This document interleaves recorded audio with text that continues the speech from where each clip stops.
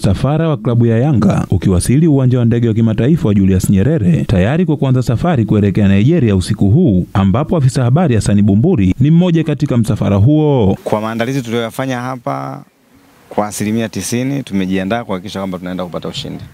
Na tunakwenda kupata matokeo ambayo yatatuwezesha kuvuka kwenda mbele, lakini kama si hivyo waliotangulia wametuhakikishia kwamba wameandaa mazingira mazuri sana ya kuhakikisha kwamba timu haipati usumbufu wowote, kwa maana kwamba tukifika tunafikia kwenye hoteli, usafiri utakuwa umekwisha andaliwa na mambo mengine mengine yote ya msingi uh, bila kupata usumbufu wowote kule Nigeria. Amesema anatambua mazingira magumu watakayokutana nayo, hivyo wamejiandaa kwa hali yoyote. Tunajua kwamba tunapoenda huko tutafanyiwa figisu na ndio mpira wa Kiafrika ulivyokuwa.